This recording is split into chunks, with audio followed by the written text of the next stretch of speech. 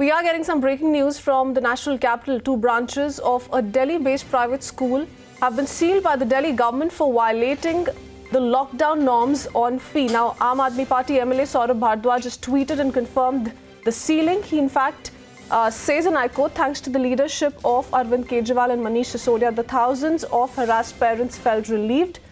They have sealed the school. It has reinforced a message that nobody is above the law of land. Petition committee investigation has also revealed that more than 30 crore surplus is there currently in school accounts. Two branches of a private school in the national capital have been sealed. The same has been confirmed by Aam Aadmi Party MLA Saurabh Bhardwaj. Remember how the Delhi government had instructed private schools not to hike their fee uh, in uh, amid the COVID-19 lockdown. It was Deputy um, Chief Minister Manish Sisodia, who in fact announced the same a few days back in the Delhi government in its order had also made it very clear uh, that the government has said schools cannot hike their fee without its permission, whether they're constructed on private land or government land.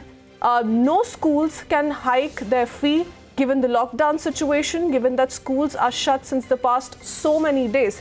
Uh, we do know that classes are taking place Classes, though, are taking place uh, uh, via online mediums, but now the Delhi government taking strict action against those schools who are hiking their fee. Two private schools in the national capital have been sealed.